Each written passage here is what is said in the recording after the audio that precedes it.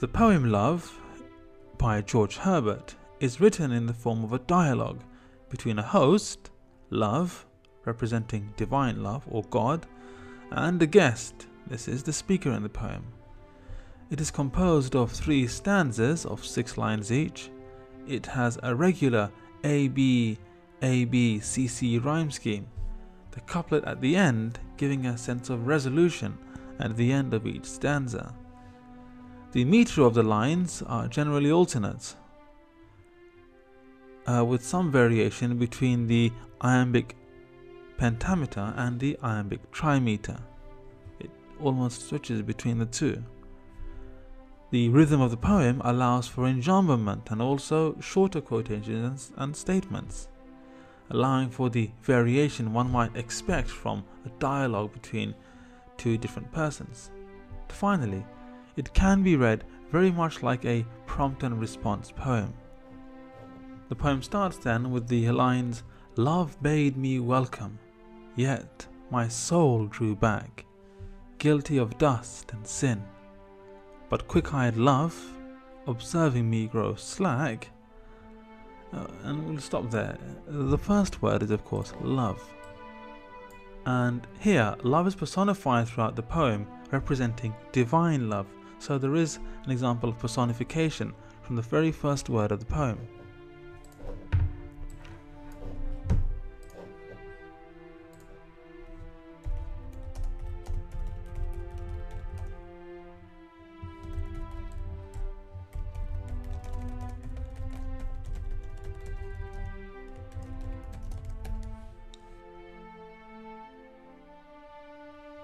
And the word that follows is quite interesting. It's the word bade, and uh, the past of bid in the sense of to say or to tell or to command. It says that love bade me welcome, almost that love commanded me uh, to be welcomed, or love told me uh, that I was welcome. So here, there is a sense of a, this word being a command.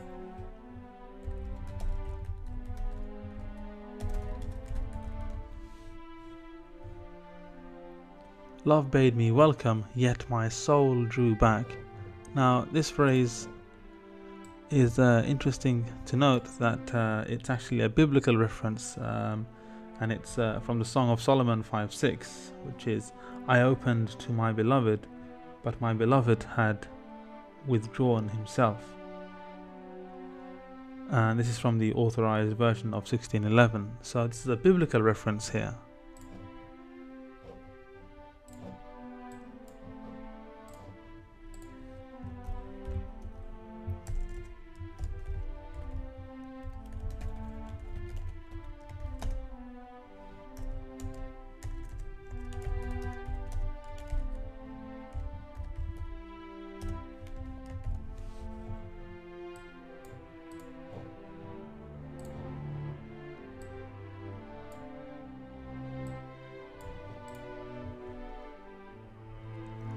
The phrase then follows guilty of dust and sin. Now this phrase is again another biblical reference to Genesis 3:19. You are dust and to dust you shall return. The dust here represents the speaker's mortality and the idea of original sin. The speaker feels unworthy because of it in the presence of love.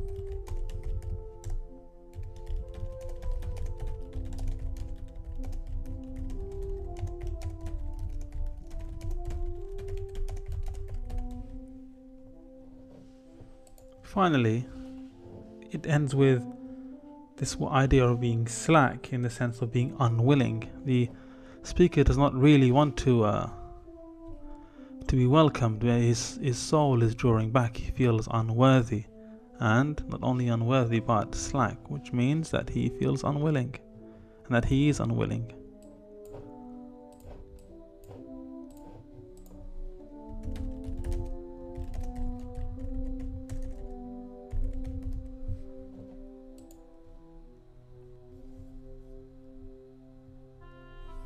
Poem then continues From my first entrance in, drew nearer to me, sweetly questioning if I lacked anything.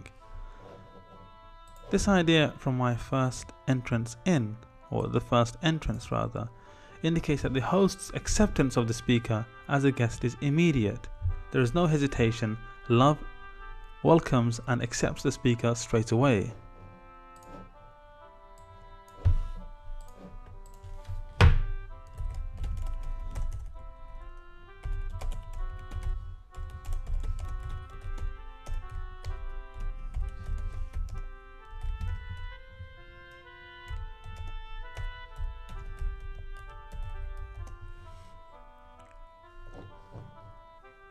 The phrase drew nearer indicates perhaps that the host is a familiar. The host is familiar and acts fondly towards the guest. So this idea of welcoming the, the, the guest in isn't something that's new or alien to uh, to love or to the host, and therefore the host draws nearer. There's a sense of compassion and affection here uh, from love uh, towards the host.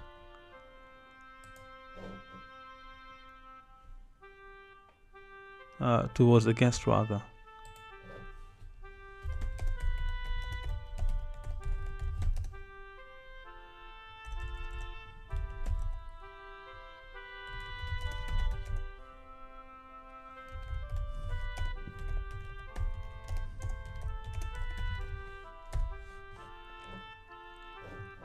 And this is emphasized further by the fact that the word sweetly is used. So not only does love draw nearer to the guest, but also draws near sweetly, asking if he lacked anything.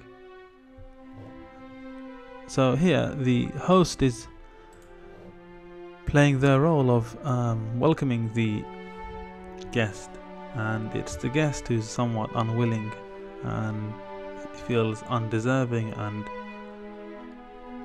therefore is slightly slack, slightly withdrawn. It's the host who is welcoming him in.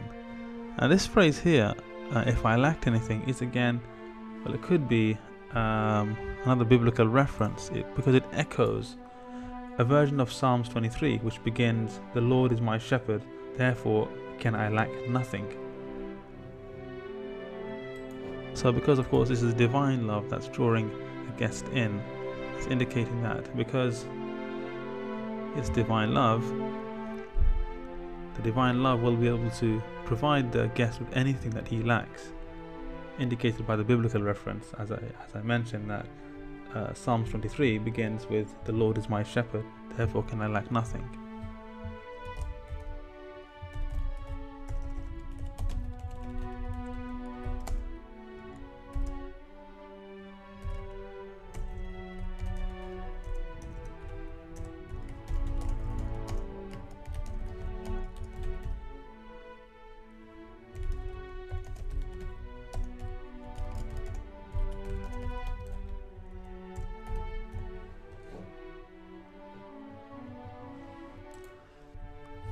Poem continues A guest, I answered, worthy to be here. Love said, You shall be he. I, the unkind, ungrateful? Ah, my dear. Now, this line here, worthy to be here, shows that the speaker claims that another would be a more worthy guest. And then the host affirms that no, you are that worthy guest. So again, the guest is feeling again unworthy. He does not feel that he's worthy of this love, this attention, this affection from divine love. and it is divine love that affirms no, you are worthy of this attention and care that's being provided.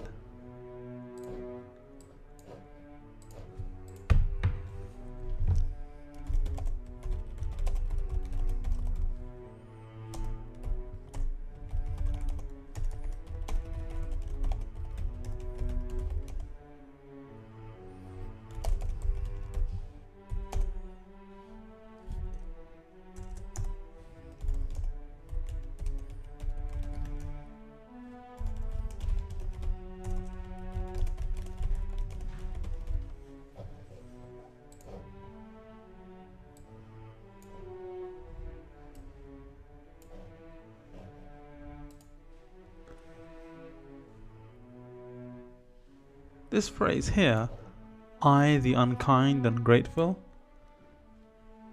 is quite interesting because the speaker, by using these adjectives to describe himself, is suggesting that he lacks the qualities, he lacks these particular qualities of kindness and gratitude that would make him a worthy guest.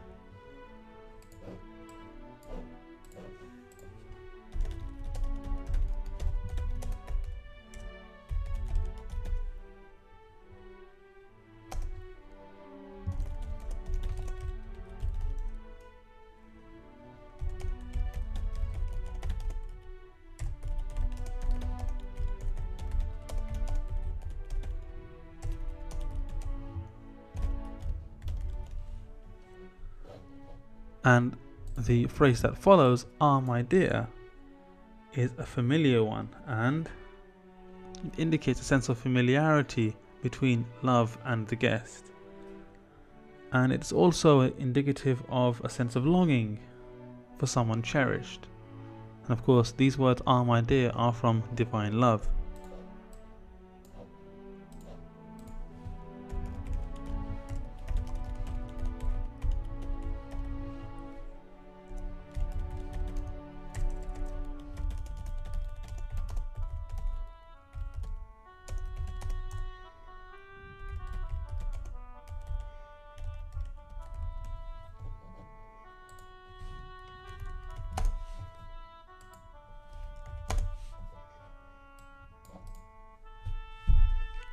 Poem then continues I cannot look on thee.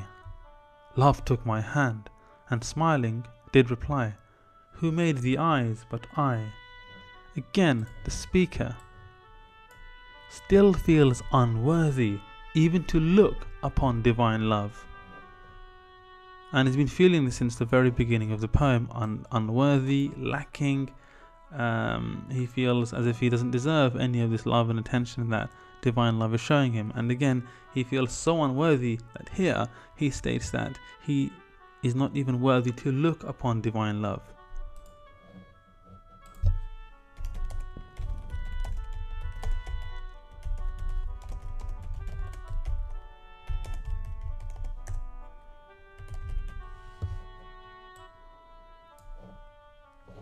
The phrase love took my hand portrays love as again being kind and again reassuring.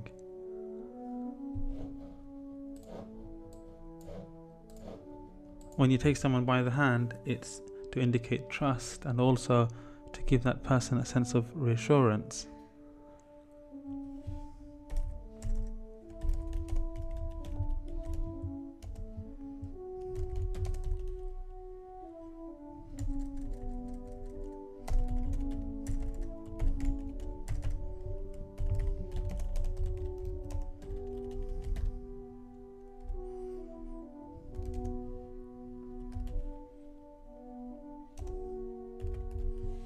Finally, this phrase that these lines end with, who made the eyes but I, is of course a rhetorical question.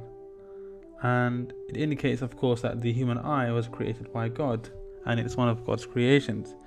The speaker can surely look at God with the eyes that God gave him.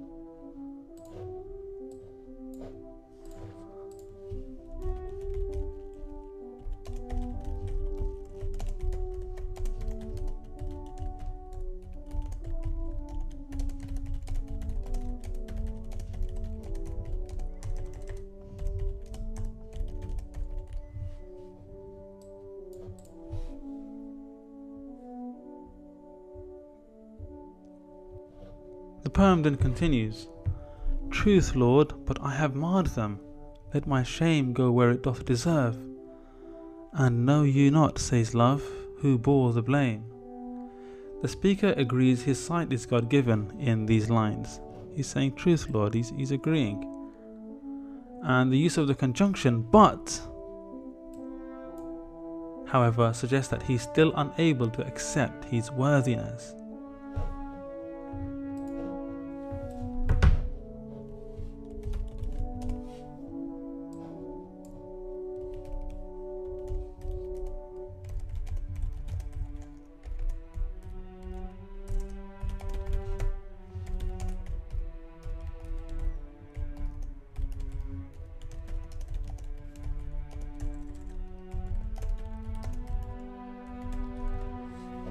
He still feels unworthy. And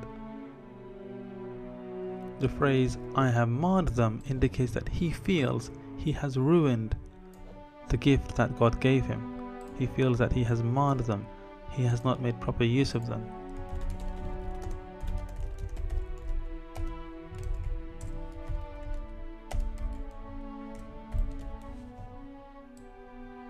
And again, because of this, he again feels unworthy.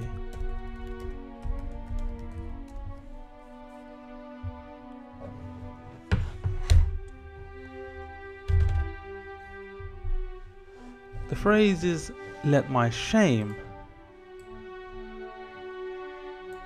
go where it doth deserve, is a form of self immolation. The speaker seems to be suggesting that he deserves damnation and he deserves to be in hell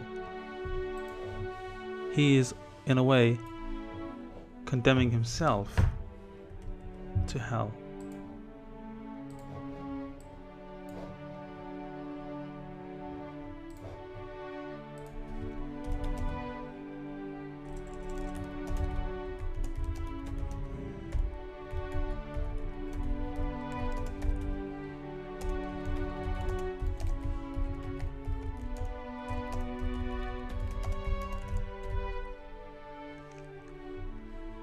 And of course, the phrase, and know you not, says love, who bore the blame, is of course a reference to the Christian idea of crucifixion.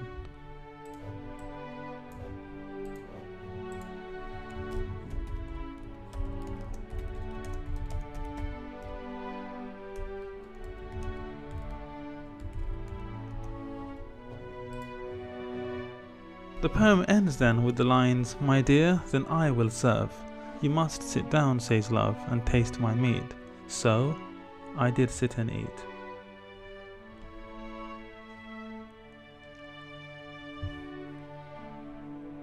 The phrase taste my meat is most likely a reference to the Christian ceremony commemorating the Last Supper, in which bread and wine are consecrated and consumed.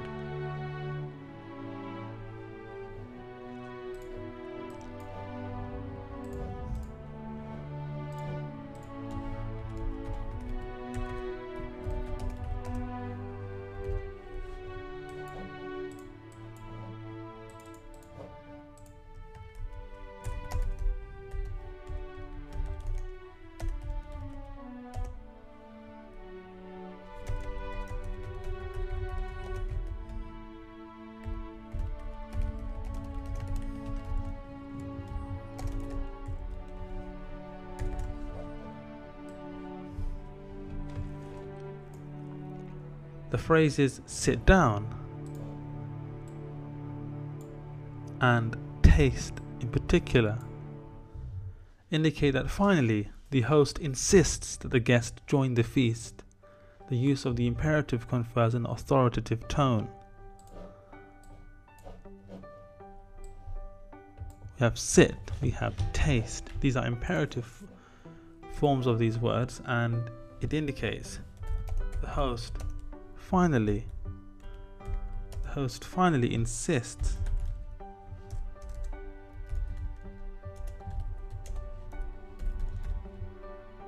the guest sit down and join the feast.